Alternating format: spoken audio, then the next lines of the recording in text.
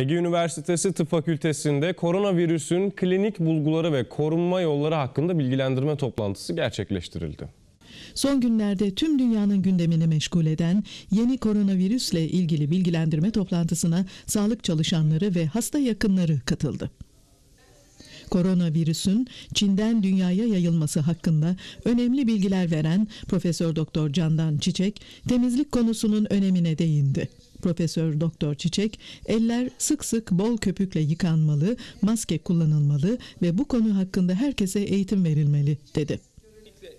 Enfeksiyon Hastalıkları Anabilim Dalı öğretim üyesi Profesör Doktor Oğuz Reşat Sipahi bugüne kadar Türkiye'de rapor edilen bir vakanın olmadığını belirterek koronavirüsünün hava yoluyla bulaşan bir virüs olması nedeniyle solunum yolu izolasyonunun yapılmasının önemli olduğunu söyledi.